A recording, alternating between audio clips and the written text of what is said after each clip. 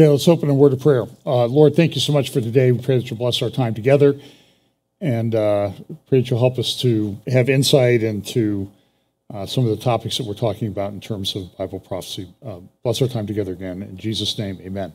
Well, today I'm going to call this the pause before the storm. And the only reason I could think of that was, you know, it, it's it's gray, it's dark, it's cloudy here in Columbus, and Ohio State lost to Michigan. So that's like um, everybody's upset today, and uh, they got they got whooped. Um, especially in that. Say, I went and played golf, and so I didn't watch any of it. And uh, I came home, it looked close, and I turned around and did something, and it wasn't. So listen, this is uh, soon going to be irrelevant. But we talk a lot about the convergence of events. And um, let me just make a preliminary comment. Well, we talk, I talk about acceleration, convergent, logistics, understanding, particularly a lot based on this verse in Daniel about at the end time there will be uh, people that the wise will understand and instruct the many, but the wicked will never understand. So, and it doesn't say instruct the many here, instruct many here. It says it over in, in uh, prior passage in Daniel chapter 11, around verse 33 or 34. And it's, it's, it's very interesting to watch this because I talk to a lot of different people. Uh, I have a lot of friends, uh, and it's very interesting. Everybody has different views of the end times. I personally think that um, this is still to be fulfilled, although this week people were sending me articles that this has been fulfilled and everybody knows everything about the end times now. Particularly, this one man said, if you follow what I've written, uh, you'll understand exactly how everything is supposed to be uh, supposed to happen. And this is the case. So I'm all for learning. I'm all for discussing these different ideas. Uh, sometimes I don't like the level of uh, vitriol that I see uh, being back and forth. And at some point, your view on a certain thing will be so obviously wrong that it's going to need to be dealt with. And, and we'll have to work that out when we get to that time. And whether that time's when I'm still alive or not, I don't know. You know, I, I thought this would have wrapped up a while ago. And I think the, the fact of the matter is that a lot of people are looking at things and we're sort of like, you know, I didn't really expect, to be honest, I didn't really expect to see this. And if we're honest, I've been involved in the prophecy community for a lot, long time. I've spoken at a lot of conferences, um, and I've met a lot of other people. And I don't know anybody that really called what's gone on in the world the last three years, called it with any specificity.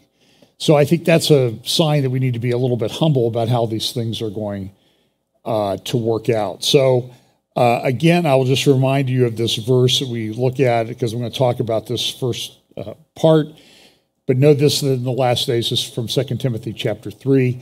But know this that in the last days perilous times will come, for men will be lovers of themselves, lovers of money, boasters, proud, blasphemers, disobedient to parents, unthankful, unholy, unloving, unforgiving, slanderers, without self control, brutal, despisers of good traitors, headstrong, haughty, lovers of pleasure rather than lovers of God, having a form of godliness but denying its power.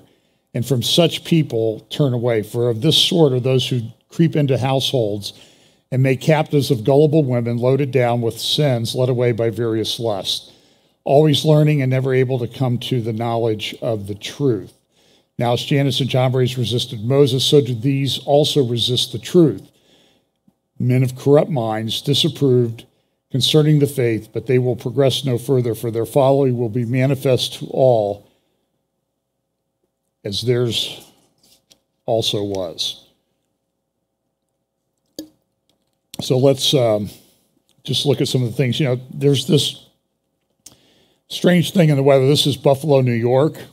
Uh, last week, um, they had to move the Buffalo, Cleveland at Buffalo game from Orchard Park, New York, because Orchard Park got 77 inches of snow in one storm. Uh, that's a lot of snow. uh, taller, as tall as the uh, Buffalo Bills quarterback.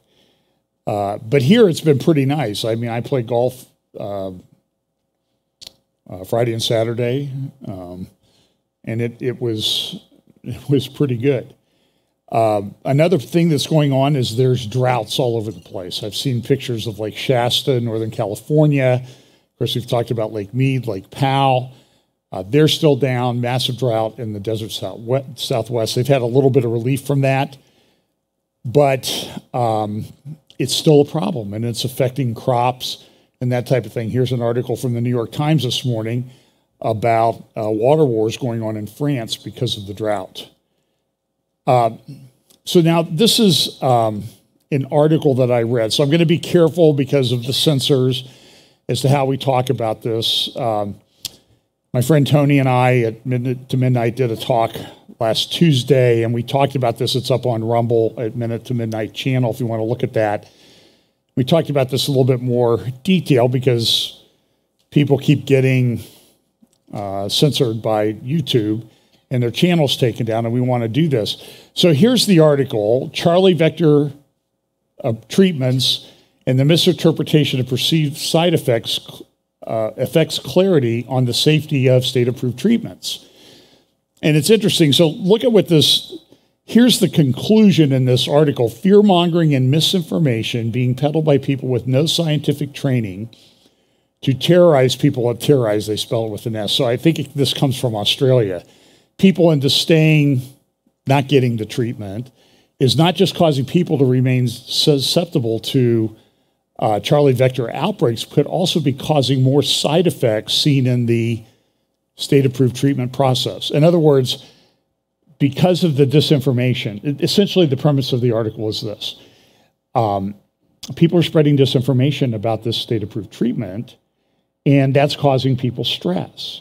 And so, as a result of that, the stress, that's why people are having, it's not side effects, they're having, the stress is causing them to have a stroke or a heart attack or something like that.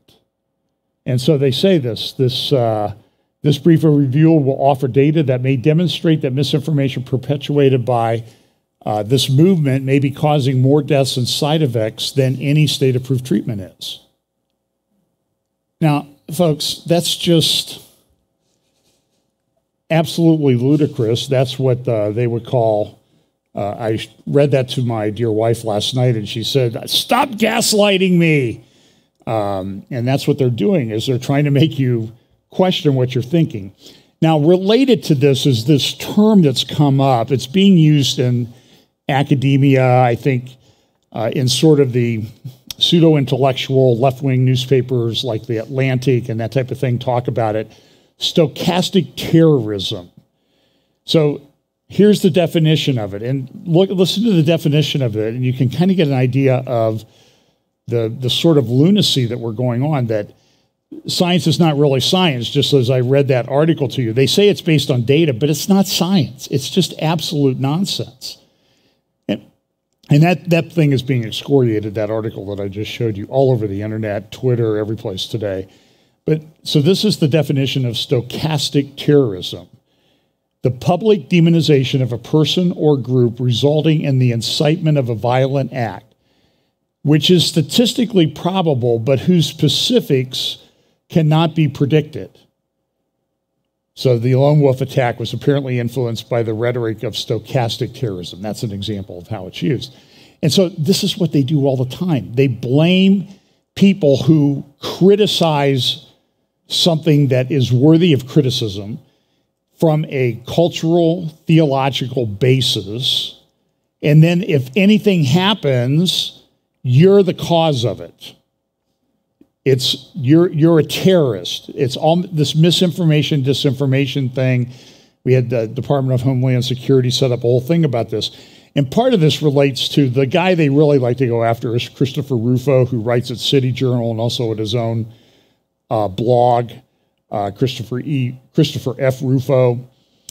And so he has this article up at City Journal uh, in the current issue, The Real Story Behind Drag Queen Story Hour. And I'm not going to go through the whole thing, but he goes through in excruciating detail and talks about where this came from, what the results of it, you know, how, how does it come about? How is it that this is happening all at once, everywhere, all over the place? I have to be honest with you. I have a number of videos of what goes on at these drag queen story hours. I cannot play them. We're at church. It, it is, if not completely, it is certainly at least borderline or over the borderline of pornography. And they are doing this in front of little tiny children. And so people on the right, the conservatives, evangelicals, church people, people who believe in the Bible, says, we're like, you're grooming young kids for this. And then something happens, and what do they do? You're at fault. So this last Sunday or Saturday uh, evening, I didn't really talk about it, was a shooting in Colorado Springs at a LGBTQ oriented bar that supposedly was this week to have it like a drag queen, get to know a drag queen thing for kids. And guy went in and shot it up, killed five people, uh, was arrested. Uh, it was interesting after his arrest. Um, this is a very troubled individual. I mean, you can just look at the, you can go watch the video of him when he's being arraigned by the judge. This guy is messed up. And so what, what's the narrative now? Oh, he's a Trump supporter, he's MAGA, he's a you know Christian and that type of thing, even though his father's like a porn star uh, and a drug addict. And this it's clear this kid has a drug problem. In the briefs, though, his attorneys came out and said that he wanted to be recognized by the court as non binary and referred to as they, them. Now, it may be that the, the attorneys are being clever, that this is a way to get him off. There's some hate crime, bias motivated crimes that he's been charged with. And they're going to say, well, how can he be biased against people that he's part of? That's, that's the way the argument would go. So on CNN the other day, they had a person uh, they ask a person, he's identifying as non binary. What do you think of that? So I want you to watch the person who's answering these questions. It, you know, if, if you're writing a comic script, comedy script, it would be hard to outdo this. Natalie, when we started the show, we just got we got a little bit of news earlier that the attorneys for the shooter um, are now saying that the shooter is non binary and the, shooter, the shooter uh, would like to use the pronouns they, them. And this is for the court in all court papers. And that's what um, Anderson Ald- Aldrich's attorneys are saying. Do you have any thoughts on that? I think that's um, complete ludicrous. Um, I believe they're just saying that because they want to have um, the easy way out on this. Um, that's really, really um, offending, especially being a transgender woman myself, that a male, which it was obvious with the mugshot, that's a man, that's not a non binary person because in no way, shape, or form could they appear as a woman the next day? Um, it's really offensive to even hear that, that they're playing that role. Um, and if they're non binary, why would you go after the club where you feel safe at? Why would you do that to a community where you are welcomed in if you are non binary? Excellent question. Obviously, all of this will have to be answered. Okay, so that's a man says, well, he obviously he's not a man, or he's obviously a man. To which I would say, I think I could apply that rule to you. I'm just, I'm sorry. I'm sorry you're having problems with this. It, it, you understand that this is sort of like, um, you know, if we put it in the biblical terms of Lot and Sodom and Gomorrah, it's like, I don't know that Lot had to deal with this. You know, he was he was uh, vexed by what he saw anyway, and so I think it's okay to be vexed. It's okay to be upset by this because it goes so against God's design. But it's sort of like I bring somebody on who is a man claiming to be a woman, but then he criticizes this non binary person. And I don't think they even understand what the whole non binary concept means. So he's charged. So then that led to this exchange, about three minutes on MSNBC, because it's Ben Collins and the crew at Morning Joe talking about this. And Tucker Carlson came out and he was very critical of uh, people on MSNBC who were saying, you know, this was all the fault of Christopher Rufo or Tucker Carlson or people that the shooting that actually occurred in Colorado Springs because, well, you've criticized people, therefore you can't do this. Now, my question would be if somebody shoots Tucker Carlson, are these people liable, responsible for it because they've criticized Tucker? The whole thing, it gets, it, it's, it's really silly, but I think it's important that we listen to a little bit of what they say. So here's the crew at MSNBC talking about this. This will start here in a second. Here are some headlines that I wrote the last six months. Fueled by internet's far right machine, anti LGBTQ threats shut down trans rights and drag events. Remember, uh, there was a drag event happening in Colorado. Anti trans stalkers at Kiwi Farms, which is a uh, uh, anti trans website that stalks people, are chasing one victim around the world. Their list of targets is growing. That was a couple months ago. Doctors under threat from far right activists for providing trans care. Boston Children's Hospital faces bomb threat after right wing harassment campaign. There were three of those bomb threats. FBI charges Massachusetts woman with Boston Children's Hospital bomb threat, so they found one of the people. At least 20 Republican politicians have claimed that schools are making accommodations for students who identify as cats. That was before. By the um, way, that is true. Midterms. Here are some. Here are three more from my colleagues in the last uh, three weeks. As election nears, some conservative groups have ramped up anti-trans campaign ads. Far right figures appear to be testing Twitter's boundaries for anti LGBTQ speech. GOP uh, senator targets TikTok influencer with anti transgender taunts. And I'm just wondering, what could I have done different? Seriously, as reporters, what can we do different? Because there are five dead people in a strip mall because that was the only place they felt safe as gay or trans people. What can we do in this town in Colorado Springs? And I am trying to thread this needle here. I'm trying to say that this is happening. This targeted stuff has real life impacts. They say on the internet has real life impacts. And I'm going to fail, by the way.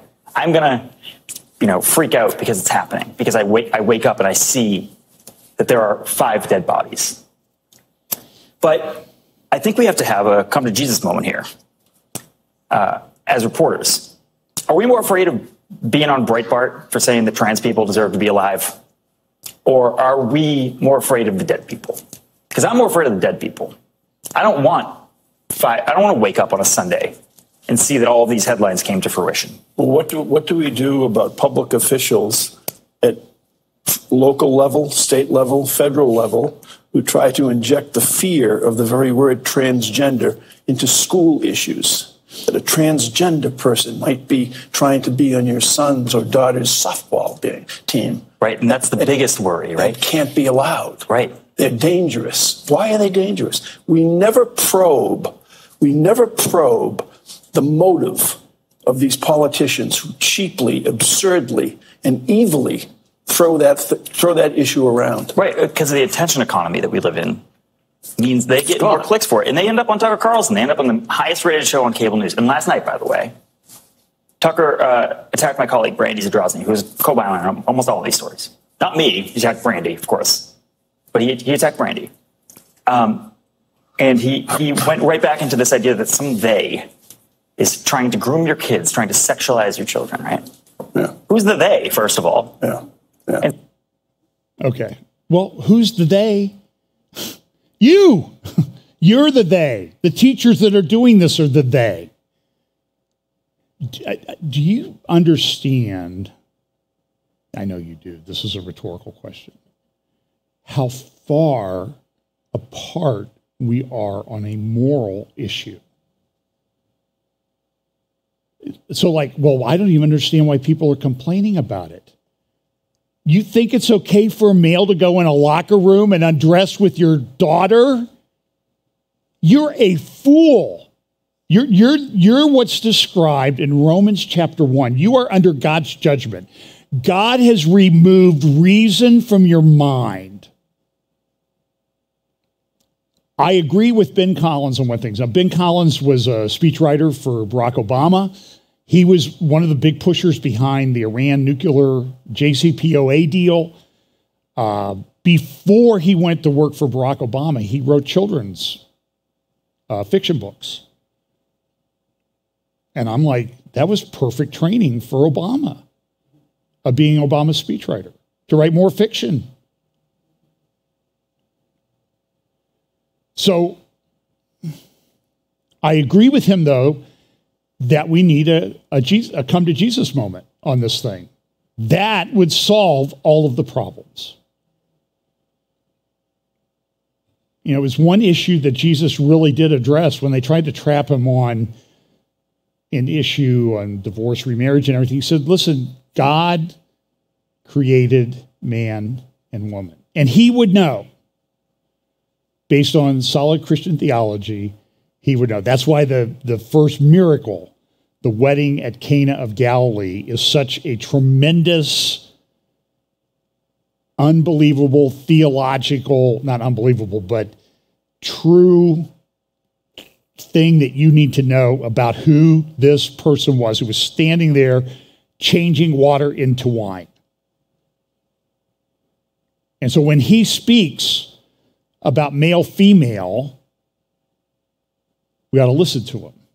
And so we do need to come to Jesus moment. Um, this is happening. You know, he, he said this, I, they make up this thing about some schools are allowing children to identify as cats. It, it doesn't take long to find it, Ben. You know, get, get, a, get a thing called an internet connection. Go to Google. You like Google, it'll direct you right to it. And this is happening. It's, you cannot tell me that all these parents are standing up saying, this is not happening. They read from books in the library and they get shut down at the meeting because they're reading pornography. And then they said, But I got the book from your library that you're letting my kid read. And they act like, and this is the problem. It's just like when you make an argument against abortion as to what really happens, all these people that support abortion, they go, that's not true. That's not what happens. You know, it's, it's all puppy dogs and rainbows, man and the and they just they can't deal with the reality and so the the the point in bible prophecy though is when we live in a culture like this a world like this where people cannot they fall for the they'll fall they fall for this delusional lie and there's a big lie coming and a big liar that's going to be spouting it, is it likely that people will fall for that? And it's going to be people on all sides of the political spectrum, mind you. Not just this, this is just an example. So here's an article. This is an article from uh, the UK, from uh, the website Christian Concern. And at Christian Concern, it talks about um,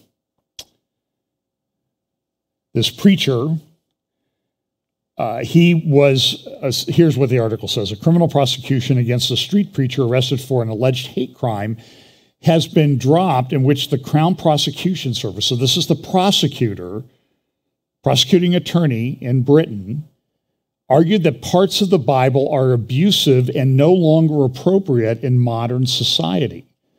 John Dunn, a cancer survivor from Swindon who had served uh, served in the British Army Special Forces, was interviewed under caution and subsequently summoned by the police for alleged homophobia after preaching on Swindon High Street in November 2020.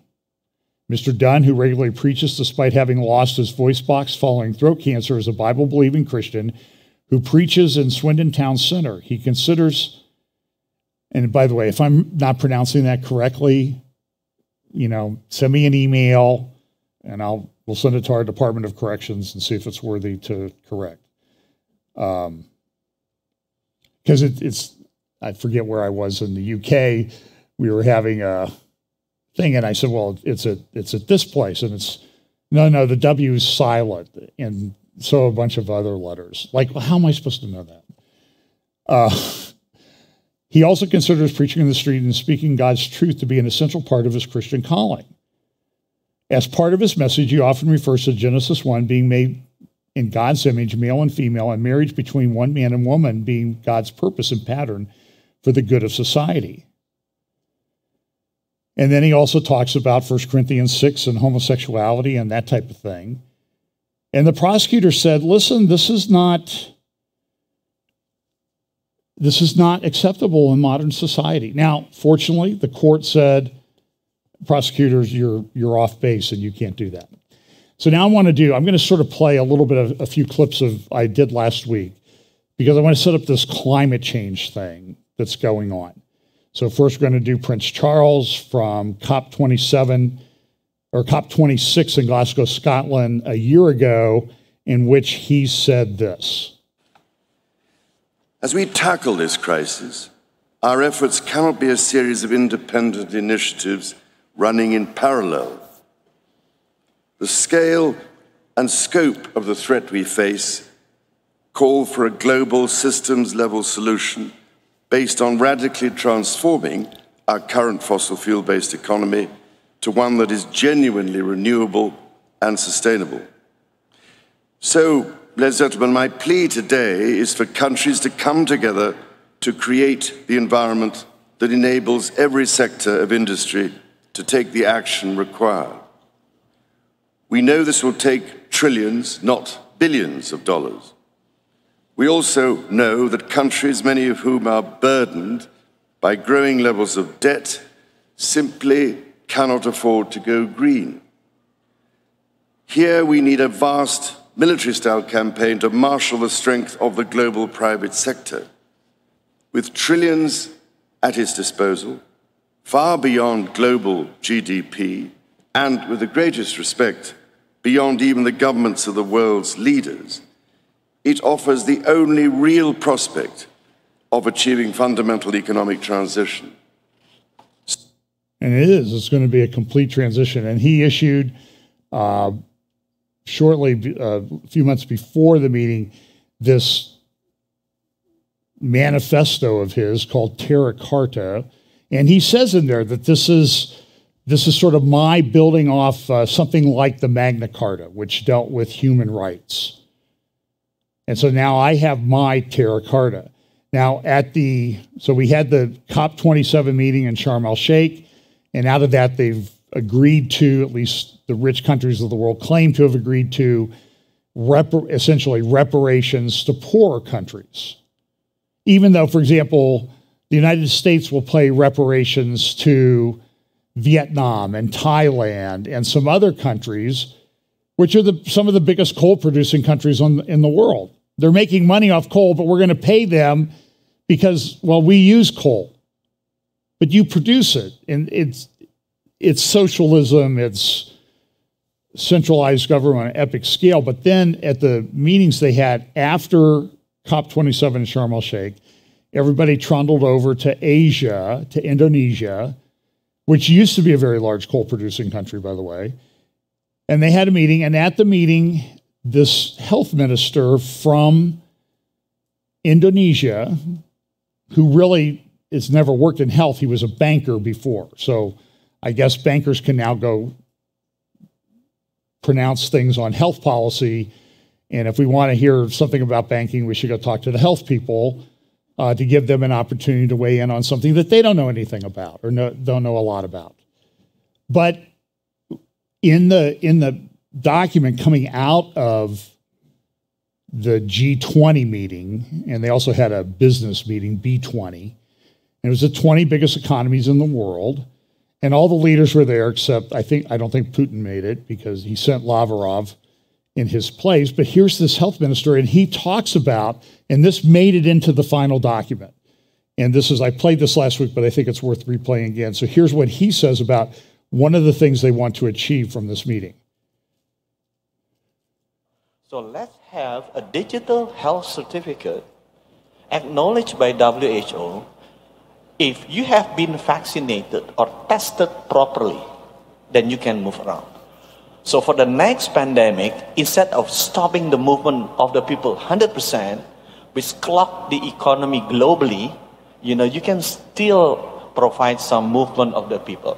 Indonesia has achieved, G20 country has agreed to have this digital certificate using WHO standard, and we will submit into the next the uh, World Health Assembly in Geneva as the revision to international health regulation. So hopefully for the next pandemic, we can still see some movement of the people, some movement of the goods, and movement of the economy.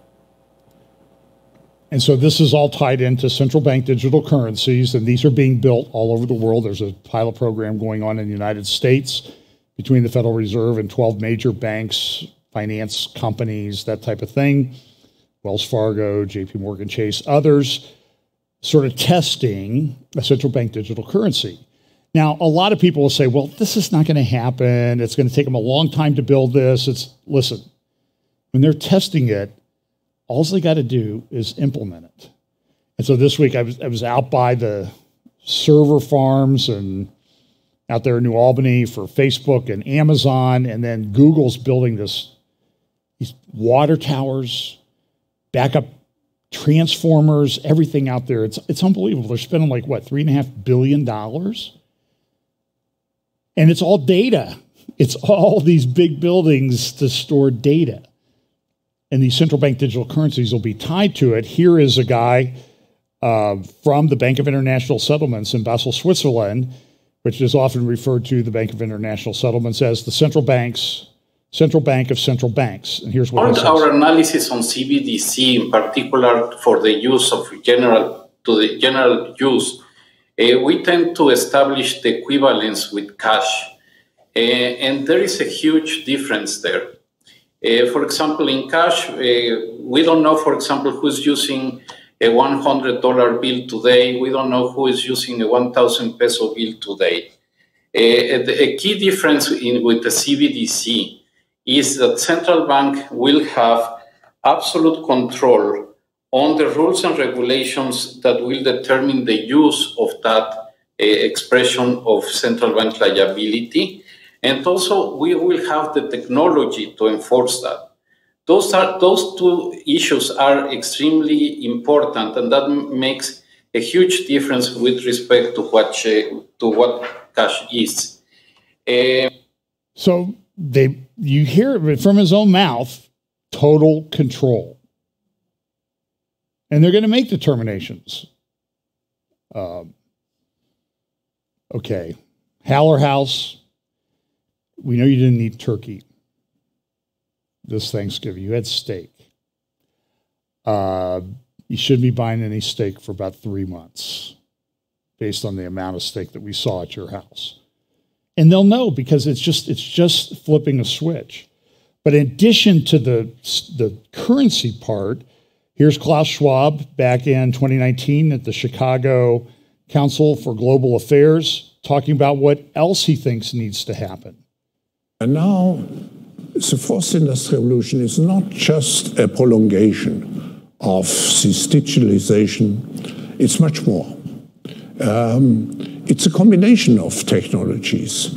It's not just the digital technology. Just think of genetics, think of brain research, and so on. And the power of the fourth industrial revolution comes from the combination of all those technologies.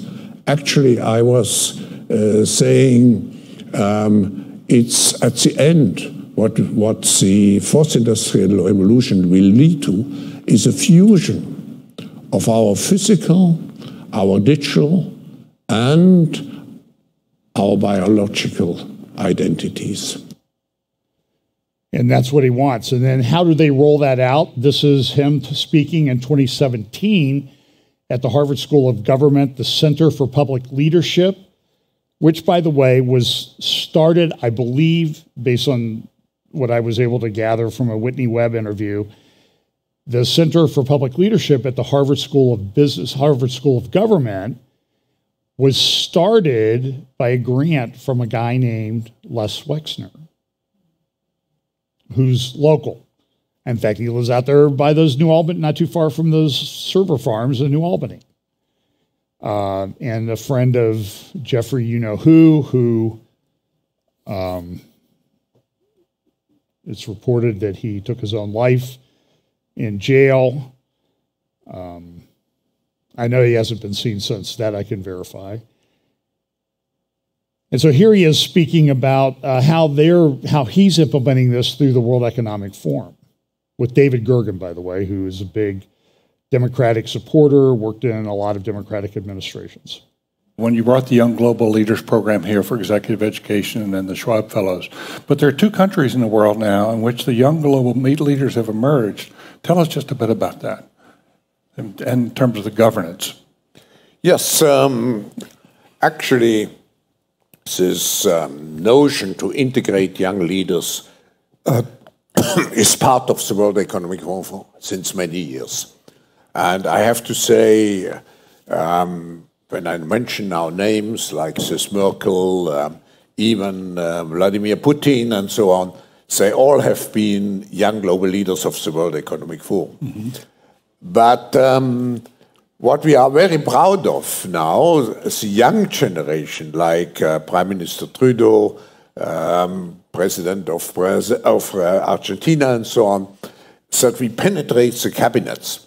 So yesterday I was at a, reception for Prime Minister Trudeau, and I know that half of this cabinet, or even more half of uh, half of this cabinet, are for our actually young global leaders of the World Economic Forum. Tina, and uh, it's so in France now. Mm -hmm. I'm with the president, with a young global leader, but.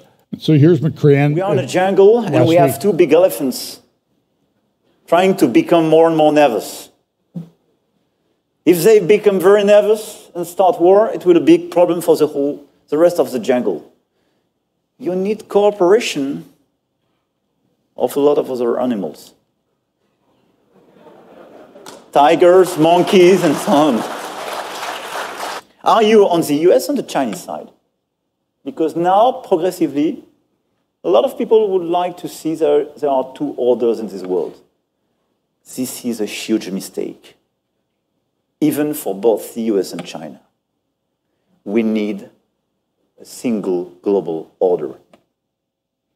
So that's him. And by the way, the, the logo there, that was the APEC, Asia Pacific Economic Council Summit uh, in Thailand, uh, right after. So they had, they had the uh, COP27, then they have in Egypt, and they have uh, G20, B20 in Indonesia, then they go to Thailand for APEC. And that they're all following each other all around these different places. Now, this is the logo art piece for the uh, APEC 2022. So I want to make a clarification as to what I see. Some people see a certain symbol that was in 1930s, 1940s Germany embedded in that, but it's it's not the same. It's the the last piece is going the opposite direction that the symbol from Germany goes. But this is an old um, Hindu sun god, ancient religious symbol for the sun and that type of thing. In fact, if you want to see a symbol like this, if you ever have time and you're up in Cleveland, go out to Lakeview Cemetery in Cleveland Heights. They're on the border between Cleveland and Cleveland Heights, right up near the lake. That's why they call it Lakeview. And it's very interesting to go there because you will see there um, Eastern mystical religious influence in the cemetery. For one, they have, for what's supposedly a Christian cemetery, all the graves, at least in one section, have obelisks on them. The tallest obelisk, by the way, is over the grave of a man named John D. Rockefeller Sr., who's buried there, who lived in Cleveland when he was building Standard Oil. And it, at one point, some people estimate he was the richest man who ever lived, uh, by some estimates, at least in terms of. Uh, so, if you say that Elon Musk had has a fortune of two hundred billion dollars in today's terms, Rockefeller's fortune would have been somewhere around 650 to 800 billion dollars. So he was pretty wealthy. That's why there are a couple generations, few generations past him, and they're all still pretty wealthy. And the Rockefeller Foundation does a lot of work. But also in that cemetery is a giant, round, pointed top mausoleum. It's the largest presidential mausoleum in, the United States for James Garfield, who was only president, by the way, for eight months back in the 1880s. He was assassinated uh, shot in a train station, I believe. But the it's a round thing with the pointed top, and if you look, go in there near where his coffin is, you can see his coffin sitting right there in the in the one room. There's a schematic there, and the schematic is that that building is to represent the core of a pyramid, which gets into these Masonic religions and all of this other stuff. And he was a Christian minister. But in the floor, embedded in the floor around his coffin, is this symbol. I have pictures of it. You can go up there and see it. So I think there's there's a tie here. It was in Thailand, and there's a tie, T-I-E, to this whole religious thing that's going on. That's my opinion. Now, I don't agree that this is a symbol for Germany, but it's a religious symbol nonetheless. And it's used, and nobody seems to be bothered by what it might mean or what it might incorporate.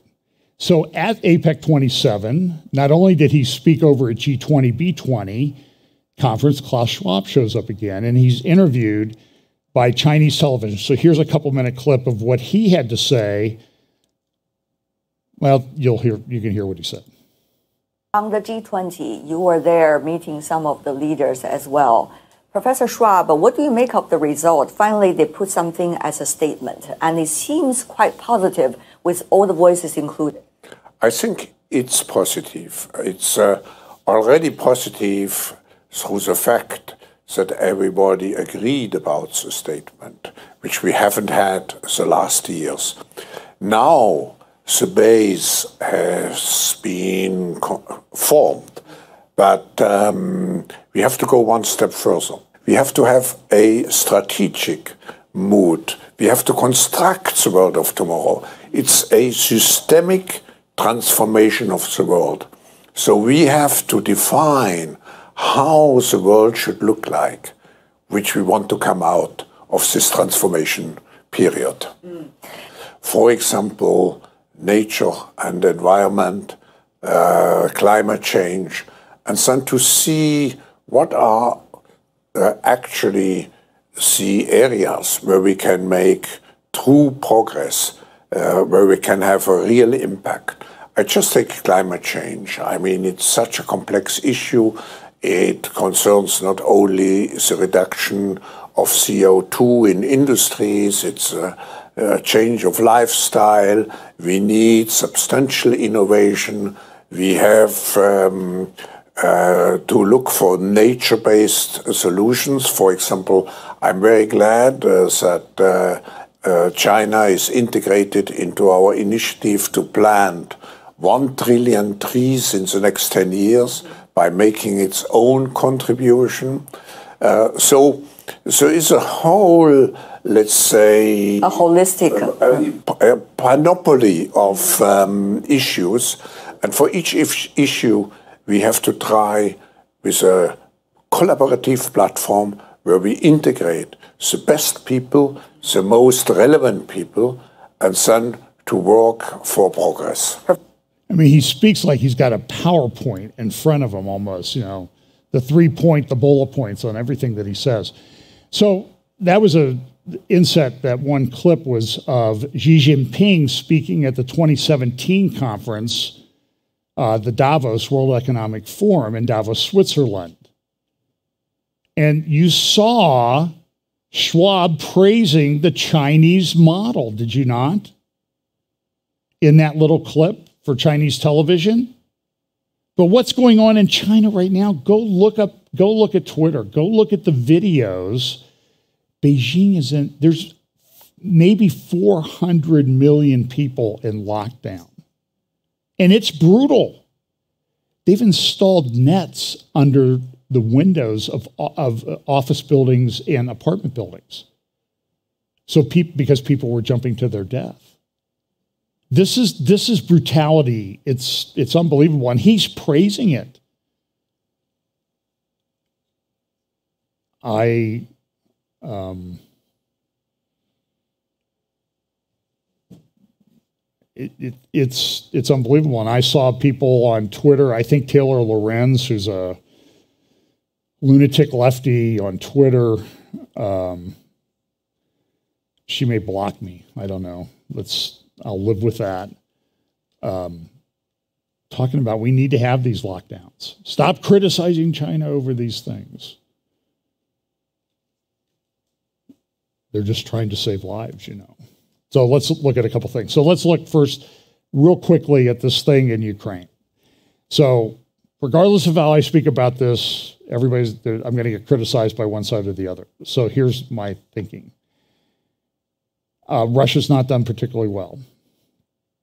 They have used a lot of their stores of ammunition, artillery, and even some missiles. There are reports that some of the missiles they're using are nuclear missile cruise missiles. They've taken the nuclear thing off and put munitions on to launch into Ukraine. And what they've done has just been brutal. Now, in the long scheme of things, um, Putin claims he's calling up another couple million people. It's going to be very difficult for Ukraine and it, it's it's already it's getting to this point where he's now destroyed 50% or more of the electricity generating capacity of the country. And it's winter and it gets very very cold there in winter. So whether there's another russian offensive coming ukraine says they're going to take things back they want the crimean peninsula. I'm just saying is i don't know that this thing is over anytime soon and it's not I don't think it's turned out the way Putin wanted it. I remember reading all this stuff. He's gonna they're gonna roll over this in two weeks. And now what are we talking about? It's been nine months. Uh, and there's still problems. They've lost a lot of territory um, that they had gained, but they've destroyed the infrastructure of Ukraine on an epic scale. Surgeons working in the dark uh, here's uh, the water and power is out everywhere. I mean, here's a picture of uh, one of the cities. Here's people gathering in a in a tent um, type place. You can see they got all their phones plugged in uh, because they don't have heat at home. They don't have water. This was pulled off the satellite at night. You can see. Look at this. Ukraine almost looks like the Black Sea. Why is the Black Sea black? Well, not because it is black, but because at night it is black because there's no buildings there.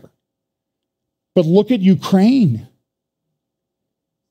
It's been um, destroyed. Now, the NATO people are saying, man, we may have used up all of our weapons fighting this. This is an article from a German newspaper about, you know, alarm about Kiev Power grid colossal destruction. Gazprom's coming back and saying they're going to cut everything off in Europe. There's just a little bit of gas getting through. Here's this big article. And what this article essentially is saying is listen, Switzerland, you usually claim you're neutral in everything. You cannot be neutral in this. This is Germany telling Switzerland they cannot be neutral. But look at the imagery that's used in the picture here on the right. Uh, here, I got a bigger copy of it. So this is supposedly Switzerland looking at what's going on in Ukraine. And you see what they've done to the people there? Hear no evil, see no evil, speak no evil. You're ignoring what's going on. Uh, this is from Wall Street Journal. Uh, sabotage on pipelines. Oil shipping has been disrupted all over the world. It is uh, the price of shipping a container uh, oil tanker used to be $40,000 a day. Now, they hold, I don't know how many hundreds of millions of uh, gallons or barrels of, uh, of uh, oil. Now they are going for about $115,000 a day. And it's completely reshaping global supply chains. So they used to deliver stuff from, say, Russia uh, to Netherlands, which was a four day trip. Now they're delivering that stuff to India, which is a 35 day trip. It's just, everything's disrupted. So I don't think we're out of this on a global economic scale anytime soon. Uh, costs are going up, uh, utility costs are going up. Uh, Europe seems to be doing a little bit okay right now because they've had a fairly mild fall, late fall and uh, going into early winter. So they've got a lot of their storage capacity filled up. But what they usually do is they fill that storage capacity while they're drawing down on it during the winter, so they always have it filled up. And now Russia's been cut off with gas. Nord Stream's been destroyed. Um, Gazprom's cutting off the last bit. And so 40% of Europe's gas supply goes away. And Europe's getting upset with the United States. Why? Well, we just happen to have a lot of liquefied natural gas capacity, so we're shipping a lot of gas to Europe. But it costs like 10 times what gas coming in by pipeline costs. And Europe's starting to resent the fact that the Americans seem to be making a lot of money off of this war on our doorstep. So there's a lot of tension going on everywhere. So let me look at this. So, um, quickly on this. This is uh, terror attacks in Jerusalem. Uh, this is unusual. This has not happened for over 15 years. A couple, a bomb went off at a bus stop. Uh, two have been killed. Uh, one died. This is the headlines from the day after, but uh, another one died, I think, yesterday or today. A man from who had made Aliyah from Ethiopia and been in Israel for about 22 years. Uh, this is the Lebanese paper. You know, they're talking about, oh, you know, this is such a great thing that we're doing. Um, and we, we like this. Iranian hackers have released security camera footage of Jerusalem bombing. So here's what one of the bombings looked like. It's nothing unusual, but if you look in the middle there, you'll see that as this uh, one car goes by, um, this white car here, there you go, boom and that's the one that killed a couple people. There was another one that uh, happened. A, a Druze individual was in a car accident and injured in a car accident up in Samaria. He was taken to the hospital. He was on life support, and about 40 armed Palestinian terrorists came in and kidnapped him, and he died. And then they had to negotiate getting the body back. He was Druze. Uh, and they had his funeral the other day. This is an editorial cartoon from one of the, I think, Al Arabi newspaper, an Arab newspaper that is this lighting the match to what's going to happen. Um, there's a BBC commentator who referred to this. Look at what his tweet is here. He says this when he was tweeting about the attack in Jerusalem. Of course, the World Cup's going on in Qatar. That's where a bunch of soccer teams get together and tie 0 0 in most of their matches. And everybody gets all excited about what a wonderful match that was. But that's my commentary. Uh, two explosions with explosive devices in occupied Jerusalem, killing. This is a BBC paid commentator, by the way. Killing an Israeli, wounding many, and the Al Aqsa Martyrs Brigade kidnapping the body of a settler in Jenin. It is the beginning of a very different Palestinian World Cup, and people are just livid about this. This guy also wrote this article uh, at this uh, website, Raya, The Resurgence of Palestinian Resistance, it's called. He says, I've been predicting this for months that there would be a resurgence of the resistance to occupation in the occupied West Bank. And there is. And the question is, what, why is it going on? Why is it happening now? Well, um, I can't remember who I read made this comment might have been Caroline Glick, that they're sort of waiting for Mahmoud Abbas to die. Because he's old, he's 86, 87. You know, he was elected to a four year term in 2003. So he's now into the 19th year of a four year term. Uh, and Palestinian society is very tribal. There's a lot of factions. And so what people are doing is they're engaging in these terrorist acts so that they'll have the political capital goodwill. Look at what we do to these settlers, the, the Israelis who occupy us and torture us. So there's there's probably going to be an uptick in this, I guess is what I'm saying. On I 24 News, uh, General Amir Avivi from the Israeli Defense and Security Forum was interviewed the other day about his views on these attacks in uh, these terror attacks. This is only about a minute and a half long. A kind of attack uh, requires a lot of planning. It's a very, it's a very well planned, planned attack. We haven't seen an attack like that more than six years in Jerusalem. Uh, all that we have seen in the last few months is mainly attacks with knives, sometimes uh, shooting, but not this kind of attack with improvised explosive uh, devices in a major Israeli city in our capital. Uh, it's obvious that uh, there is a big organization behind that. We know that in the last few months the Iranians have been involved deeply in what is going on in the areas of Judea and Samaria, coordinating with Hamas and the Islamic Jihad.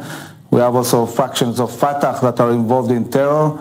So it remains to see, according to the intelligence that the Shabak will bring, what, what actually happened here and who is behind it. What do you make of the fact that no organization has officially claimed responsibility, even though some have praised what happened, no one has come forward and said this was our doing? I think that uh, they're worried about uh, Israel's retaliation. We see uh, in Gaza, Hamas uh, preparing defensively, preparing its rockets, uh, looking at the possibility where Israel will, will retaliate, uh, and this means that maybe they are responsible uh, of what has happened. It's not the first time that we see a situation where an organization like Hamas carries an attack but doesn't take responsibility. Uh, usually it's because they, they're worried about uh, what, how will Israel respond to such an attack. So that's uh, you can if you want to listen to more to General Avivi, you can go to the IDSF Israeli Defense and Security Forum uh, website, also their YouTube channel. Subscribe. Um, um, he's he's doing good work, and I I know him personally. i Spent some time talking, a lot of hours talking to him. So uh, I would recommend him as a voice to be listened to because I think he really understands what's going on. One of the things he advocates for is that Israel should develop a national guard, like we have a national guard here in the United States, and I think it's it's a pretty good point. Here's another example. This is um, Beersheba. And so what you see the car there running down on the right, running down an Israeli uh, Air Force airman. And this happens all the time down in the Negev.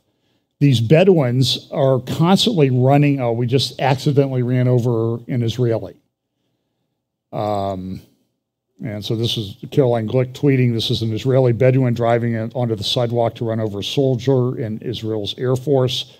This is not a rare event. Nearly every Jewish business in southern Israel is compelled to pay protection to Bedouin crime gangs. And the prior government didn't do anything about it. So there's hope that the new government that's coming in uh, will actually uh, do something about it. And there is some uh, news on that front. I think.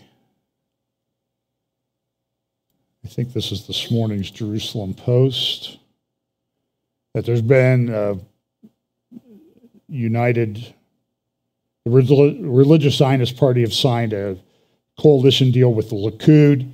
Uh, ben Gvir, who's uh, a lot of people claim is a terrorist, and I'm not going to get into that argument right now. He's going to get sort of the interior defense ministry uh, position, and so he's like, we got to stop this. We just we can't live like this. We cannot allow this to go on.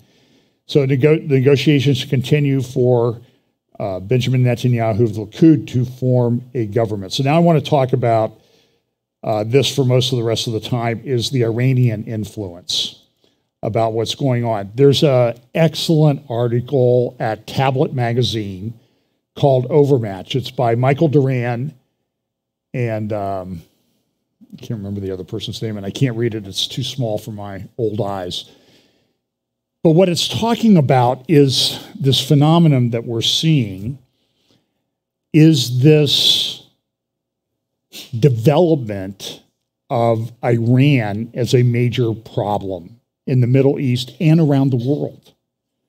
Don't think that they don't have influence in this hemisphere through Venezuela and others. And what who all how do we know who's been coming across the border, right? 5 million people since uh, the Biden administration came in. We have a problem. And Iran is doing this. And so, what they're saying, and this is an article from early November Iran's increasingly sophisticated drone and missile strike packages are driving America's beleaguered allies to seek protection in Beijing.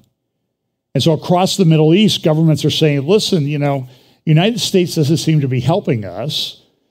And we can't fight off this Iranian thing by ourselves because of the way they're financed and what they're doing and the technology that they've developed. So we need help. Listen to what some of this article says. In the Middle East today, the United States has once again drawn its defensive perimeter in a highly ambiguous fashion.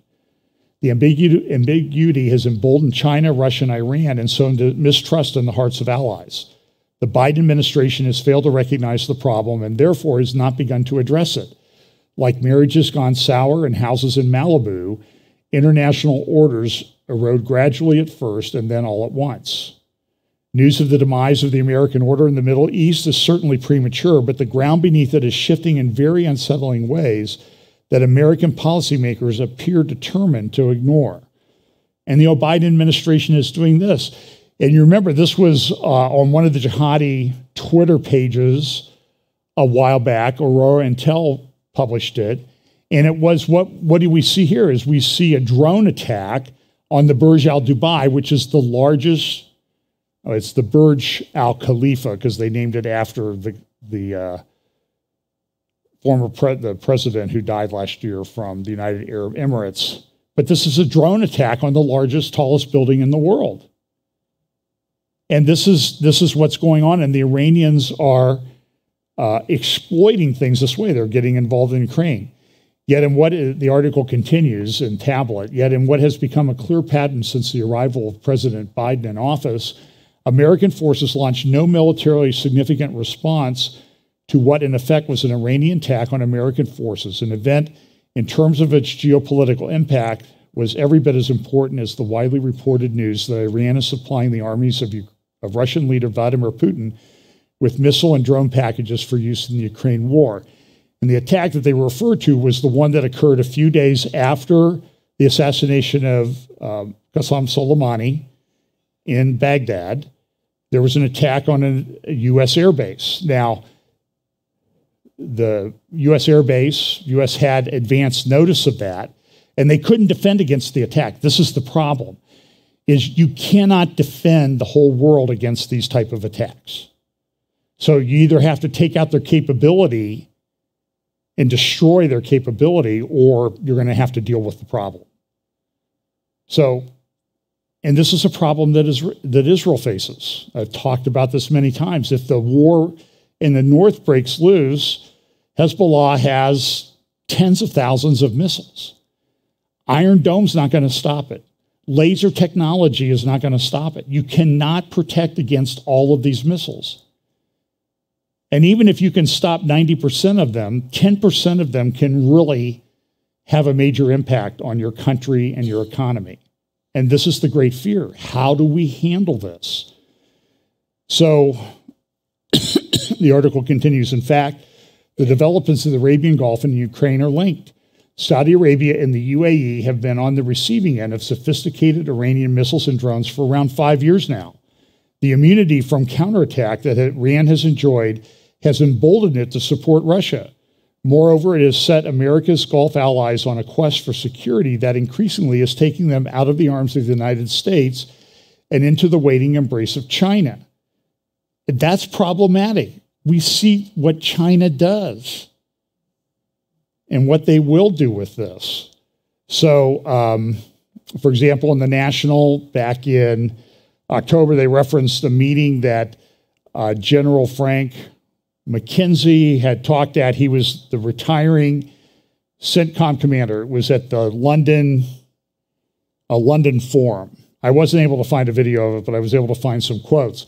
But last week on Israeli Channel 7, um, General McKenzie was interviewed, and he was asked about the Iranian threat. And I thought he had some very solid, good information to say. You want to, want to zoom this out for the video. Here it is. My point would be this over the last 10 years and accelerating over the last five years, Iran has uh, put remarkable emphasis on building a trinity of capabilities. And that trinity is composed of theater range ballistic missiles, land attack cruise missiles, and unmanned aerial vehicles or UAVs. What they have done is they have they have starved their people, they have perverted their economy, they have denied a lot of things in order to build these capabilities. To the point now where we really have a new situation in the region. Where I, will tell you, the latter part of my time as the commander of Central Command, and from what I see now, the great daily threat in the region is what comes of these three allied Iranian capabilities. Because what it does is it gives them the ability to gain overmatch against their Gulf neighbors.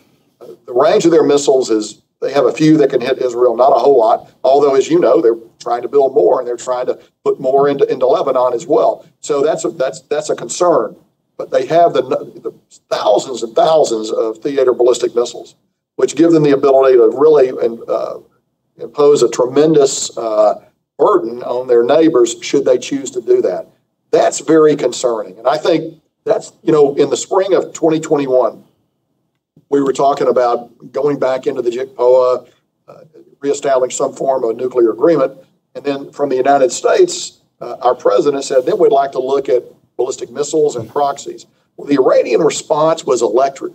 And it wasn't so much about the nuclear component as about the ballistic missiles and the proxy component, saying they will never, ever allow modification or, you know, we'll never negotiate to reduce these capabilities. I think we should view the crown jewel of Iranian offensive capability as those missiles, UAVs, and land attack cruise missiles, because they pose a they pose a threat tonight.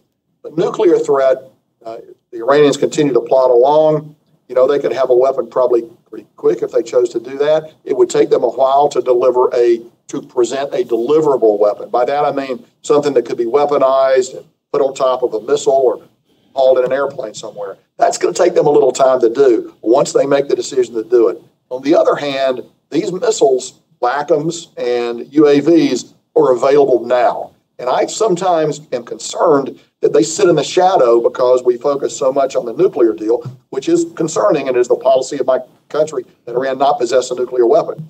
But in the meantime, Iran has built significant uh, ballistic missile capability. And the last point I would make on ballistic missiles is in January of 2020, when they launched an attack on us at Al Asad, their missiles were accurate to within tens of meters of their target.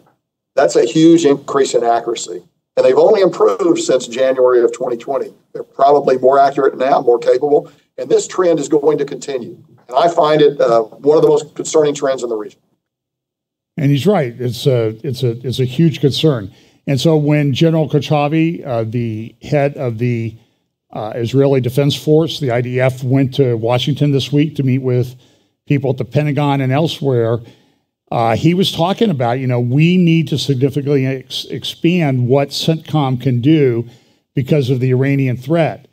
In the Arab News yesterday, there was this editorial Iran's drones allow it to export instability. And this is the whole point. It's an overmatch, as Michael Doran's article said in Tablet Magazine, as General McKenzie said, and as General Kochavi has said himself, that this is a big deal the development of these drones. So my friend Seth Frantzman at Jerusalem Post wrote a book on drones last year or two years ago.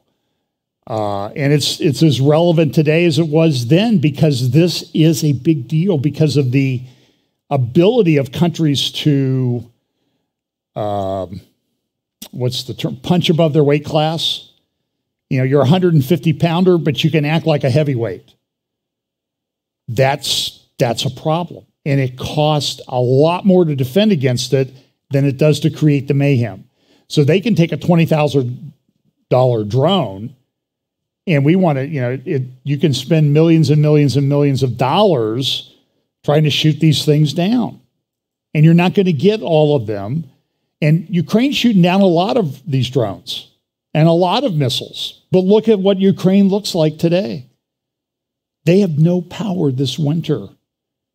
People will freeze to death.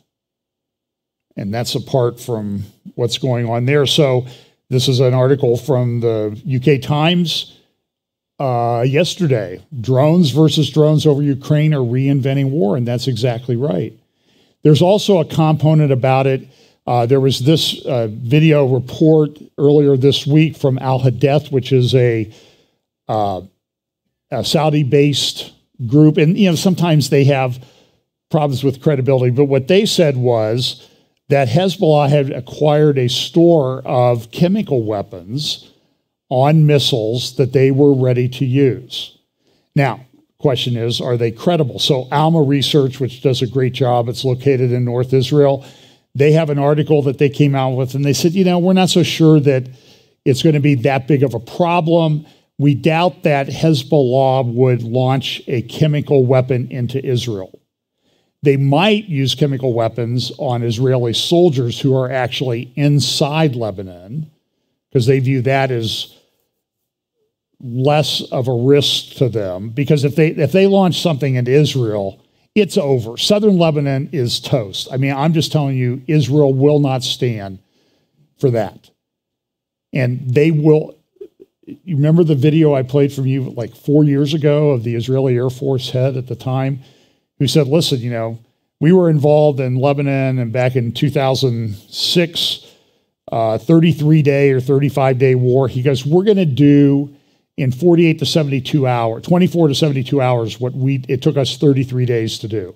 It will be shock and all like you've never seen it. So if Hezbollah knows if they trigger this the wrong way, so I'm not sure how credible the Al Hadath uh, report is from Saudi Arabia, but it's still it's still an important issue. Uh, and so McKenzie again was saying what he had said at the uh, London Policy Exchange on October 6th he sort of reiterated that in the Channel 7 interview that I just played for you. Um, and so he talked about, so here's what he said though. Um, I think that over the past five to seven years, Iranian capabilities, this is what he said in London about two months ago. Over the past five to seven years, the Iranian capabilities in these three domains have risen to such a degree that they now possess what I would call effective overmatch against their neighbors. Overmatch is a military term that means you have the ability to attack and your defender will not be able to mount a successful defense. It's a pretty simple equation. And despite spending millions and millions on defense. And then Salami has come out, he's one of the generals of the Iranian Revolutionary Guard, and says, We can do whatever we want. And the article that Doran wrote in early November says this Salami statement was not mere bluster. Iran can supply the armed forces of Russian Federation with drones and missiles for the invasion of Ukraine, in part because its products are worth buying, and in part because it no longer fears an American response to the actions that might lead to battlefield deaths of NATO advisors.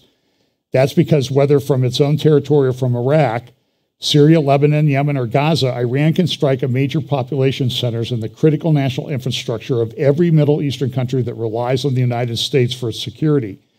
The tanker traffic through the Strait of Hormuz is easy pickings, as is every American base in the Middle East. The integration of Western technology will also make Iran's weapons much more attractive on the international arms markets.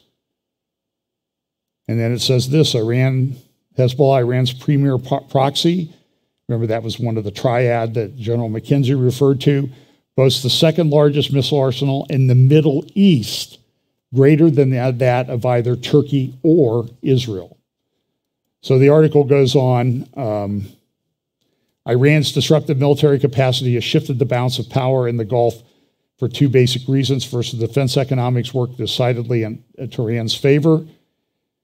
Um, and then, I don't know if I put the second part in here. But anyway, so um, Yet the growing sophistication, the last sentence here, of uh, the IRGC's drone and missile package, combined with the Biden administration's favorite strategy of regional integration, highlighted most recently by the U.S. sponsored Israeli gas deal with Hezbollah, makes a more relaxed posture even less sustainable. Founded on the idea of a balance of deterrence, the Biden administration's regional integration strategy intentionally limits the threat that Israel can pose to the IRGC and its proxies, thereby making an Iran attack more likely while restraining any Israeli response. The IRGC's defense network can now supply the world's second largest arms exporter in a high tempo invasion at NATO's doorstep. And so this is this war that's going on between Israel, I mean, Israel and Iran. And this does play into Bible prophecy. And again, I don't want to get into when Ezekiel 38 and 39 occurs. I think it's at the end. Okay, that's my at the end of this period, just before the Lord returns. That's just more and more my conclusion. Uh, but I think it's going to think it's going to extend out over a period of time. It's not going to be a one day thing. It's going to be a, a campaign, I guess. It's not going to be overnight. That's that's what I'm trying to say. and so this week in uh, Syria, a, a, top Iranian general was taken out in a strike. Uh, Israel never takes credit for that. This was the article that I showed you last week. 400 seconds to Jerusalem is what they're saying. Uh, at the same time, all this is going on. There is uh, this is kind of interesting because I don't know I don't know if Russia survives. Okay, I know I'll get in a lot of trouble for saying that. They've got problems, and this is sort of like their excuse me. It's sort of like their last chance, their last hurrah to do this because of their demographic problems and the fact that the ethnic Russians are declining, but other minorities like the Chechen and Muslims are increasing. So I, I don't know. But the other thing, and I've talked about this for a long time, is in a, the uh, Stan republics organizing somehow into a coalition that a coalition that fits into the Ezekiel 38 scenario. Because I know Turkey's involved. Uh, don't know if it's Erdogan's going to be the leader. He's up for election next year. He may not make it. I don't know. But this is another meeting that they had recently. The uh, Council of the Heads of the State of, of the Organization of Turkic States, because they have an ethnic and religious and language capacity. So this is a, a graphic that shows these countries. Uh, and you, you can make the case that this is the Gog Magog area, uh, biblically, historically. Maybe not. I don't know. We'll see how it plays out. That's my my view on it. Um,